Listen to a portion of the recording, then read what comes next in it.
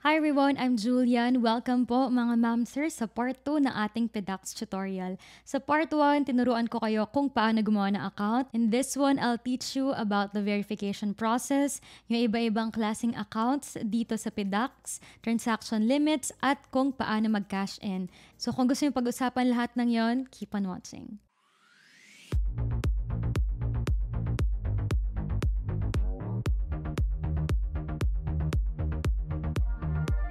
So, ready ka na mag-cash in. Pero ang tanong, ang account mo ready na ba? Before ka makapag-cash in dito sa PEDAX, kailangan ay verified muna ang iyong account.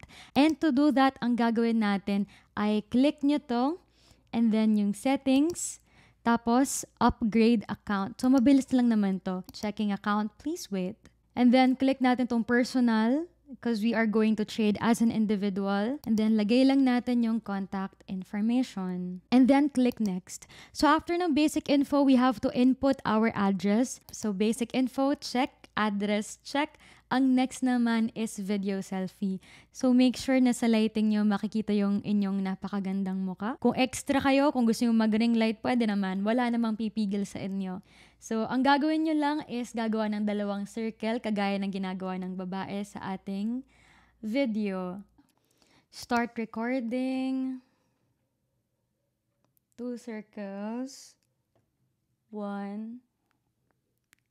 2. Ayan. Siyempre may ngiti sa dulo dahil extra tayo. The next step is pipili ka lang ng document to pass para sa verification. So, pwedeng driver's license, passport, UMID, Unified Multipurpose ID, SSS, Postal ID, Alien Certificate of Registration, ICR, Immigrant Certificate of Registration. Upload yung front side and then yung back side and then you are good to go. Mabilis lang naman yung verification ng process ng PDAX so you don't have to worry. Although minsan nagkakaroon ng slight glitch, yung sa account ng parents ko, nahirapan kami na i-verify yung kanila. Tamang basic information na nagtutugma naman sa sinubmit na ID.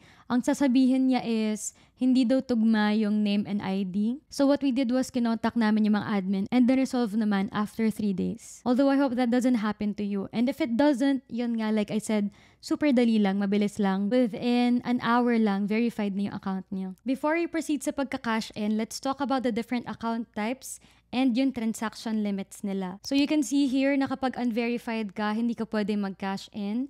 Pag verified account naman, ang daily limit mo is 50,000, monthly limit 150,000, with an annual limit na 500,000.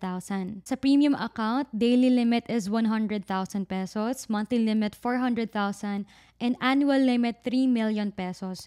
Kanina pinakita natin kung paano magpa-verify na account. Now let's talk about paano maging premium account. So here are the requirements, proof of income and proof of address. So proof of income, ang tinatanggap nilang documents are payslip, ITR, bank statement, and passbook. Meanwhile, sa proof of address naman, electric, water, telephone, internet, credit card bill, lease contract kung nagarenta kayo, or barangay certificate of residency. Make sure na yung both documents nyo for proof of income and address are not older than 3 months. Once na meron na kayo ng documents na yon, email those at accounts at pedax.ph. If you look at reviews ng mga iba-ibang users regarding this application process, merong mga nag-share ng experiences na mabilis lang do yung process for them.